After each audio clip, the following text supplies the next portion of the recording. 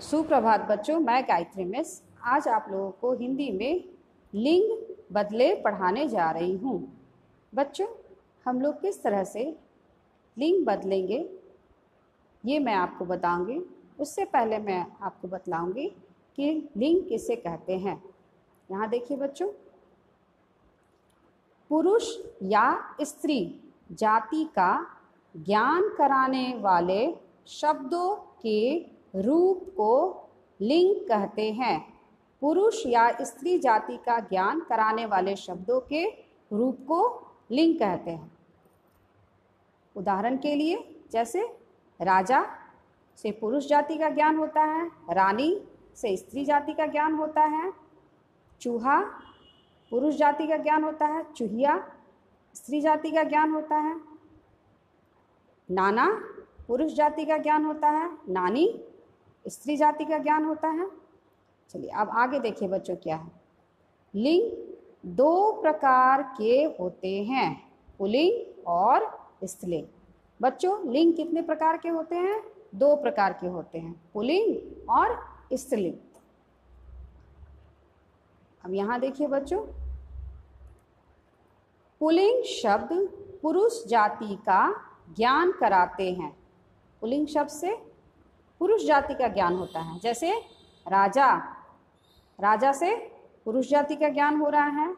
दादा दादा से पुरुष जाति का ज्ञान हो रहा है। भाई, इससे पुरुष जाति का ज्ञान हो रहा है। नाना, इससे पुरुष जाति का ज्ञान हो रहा है। अब आगे देखिए बच्चों क्या है। स्त्रीलिंग शब्द, स्त्री जाति का ज्ञान कराते हैं। स्त्रीलिंग से हमें स्त्री जाति का ज्ञान का पता चलता है। जैसे उदाहरण के तौर पर आप देख सकते हैं, नानी नानी से स्त्री जाति का ज्ञान होता है। दादी दादी से स्त्री जाति का ज्ञान होता है। बहन बहन से स्त्री जाति का ज्ञान होता है।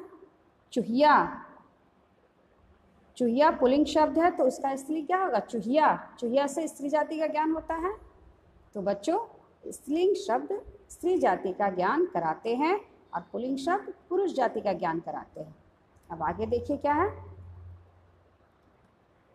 लिंग दो प्रकार के होते हैं।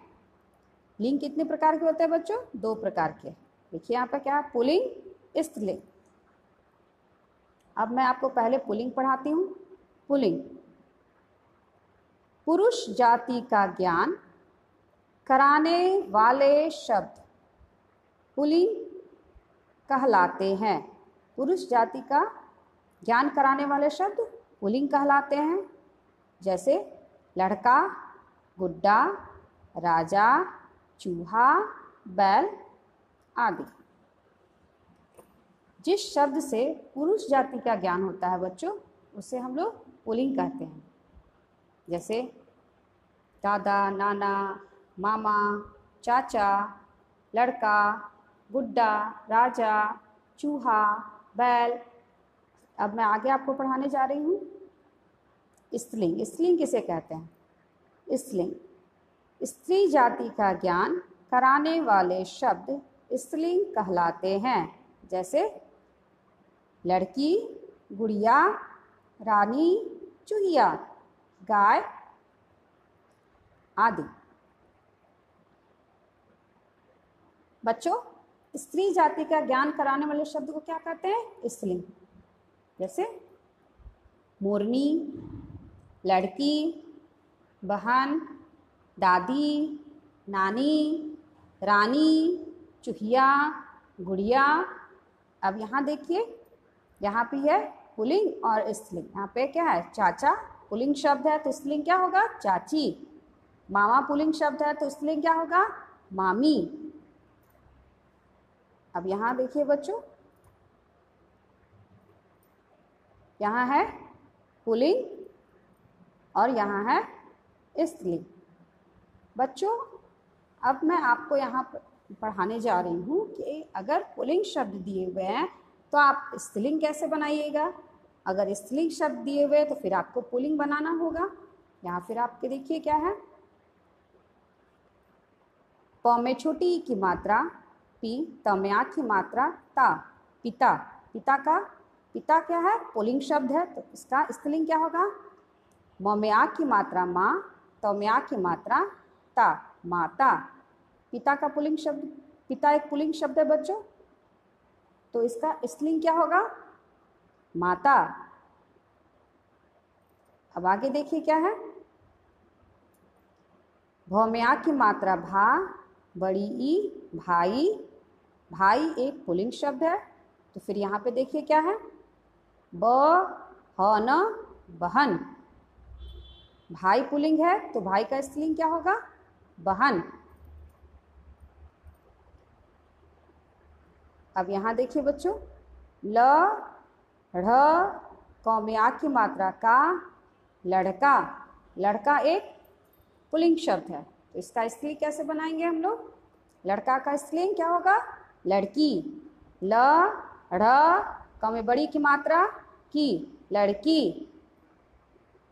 लड़का एक पुलिंग शब्द है तो इसका क्या होगा? स्त्रीलिंग लड़की।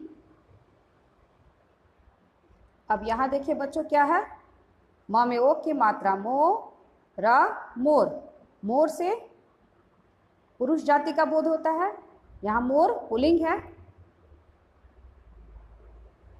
मोर का स्त्रीलिंग क्या होगा बच्चों? म में ओ की मात्रा, मो, र, न में बड़ी की मात्रा, नी, मोरनी। मोरनी से स्त्री जाति का बोध होता है। मोर का स्त्रीलिंग क्या होगा? मोरनी। अब यहाँ देखिए बच्चों क्या है? ब में एक की मात्रा ट में आ की मात्रा, टा, बेटा। बेटा से पुरुष जाति का बोध होता है तो यह पुलिंग है। बेटा का स्त्रीलिंग क्या बनाएँगे? ब में एक की मात्रा, बे टा में बड़ी की मात्रा, टी, बेटी। बेटा का स्त्रीलिंग क्या होगा बच्चों? बेटी। यहाँ देखिए नौ में आ की मात्रा, ना नौ में आ की मात्रा, ना, नाना। नाना से पुरुष जाति का बोध होता है तो यह पुलिंग है। तो इसका स्त्रीलिंग किस तरह से बनाएँगे हम लोग? न में आ की मात्रा, ना न में बड़ी की मात्रा, नी। नानी। नानी से देखिए, स्त्री जाति का बोध हो रहा है। नाना, पुलिंग शब्द है तो इसका स्त्रीलिंग क्या बनेगा? नानी। नाना, नानी। अब यहाँ देखिए बच्चों क्या है। द में आ की मात्रा, दा। द में आ की मात्रा, दा। दादा। दादा से आप देख सकते हैं यहाँ पर। पुलिंग शब्द का बोध हो रहा है। और दादा का स्त्रीलिंग क्या होगा बच्चों? द में आ की मात्रा, दा, द में बड़ी की मात्रा, दी, दादी। दादा से पुरुष जाति का बोध होता है, इसलिए यह पुलिंग है। और दादी से स्त्री जाति का बोध होता है, इसलिए यह स्त्रीलिंग है। तो दादा का स्त्रीलिंग शब्द क्या होगा? दादी। यहाँ देखिए, च में बड़ी की मात्रा, चू, ह में आ की मात्रा, हा, चूहा। चूहा से पुरुष जाति का बोध होता है बच्चों तो यह पुलिंग शब्द है। अब इसका हम लोग स्त्रीलिंग बनाएँगे, लिंग बदलेंगे। तो चूहा का स्त्रीलिंग क्या होगा? ध्यान दीजिएगा यहाँ पर। च में छोटी उ की मात्रा, ह में छोटी ई की मात्रा, य में आ की मात्रा। चूहिया, चूहा का स्त्रीलिंग क्या होगा? चूहिया।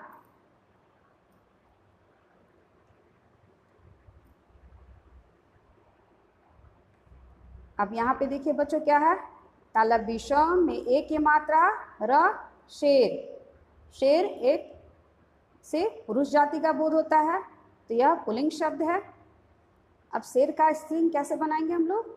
शेरनी शेर का स्त्रीलिंग होगा तालब विषम में एक की मात्रा, र, न में बड़ी की मात्रा, नी शेरनी शेरनी से स्त्री जाति का बोध होता है, इसलिए यह स्त्रीलिंग है।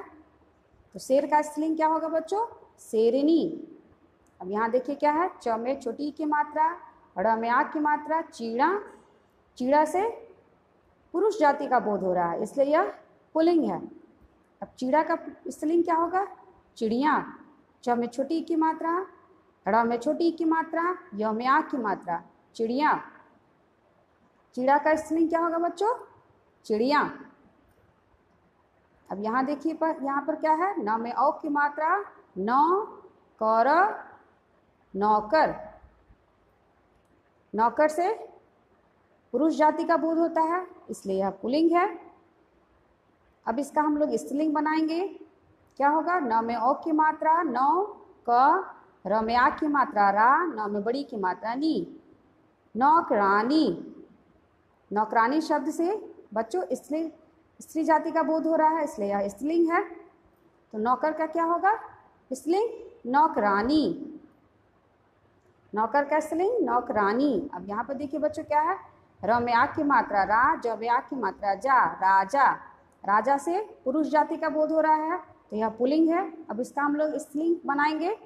राजा का स्त्रीलिंग क्या होगा? रानी। र में आ की मात्रा रा न में बड़ी की मात्रा नी, रानी। रानी से स्त्री जाति का बोध होता है, इसलिए यह स्त्रीलिंग है। तो राजा का स्त्रीलिंग क्या होगा? रानी। बच्चों, आप लोग इसी तरह घर पे पढ़ेंगे। धन्यवाद। आप लोग घर पे अच्छे से लिंग बदले पढ़ेंगे। धन्यवाद बच्चों।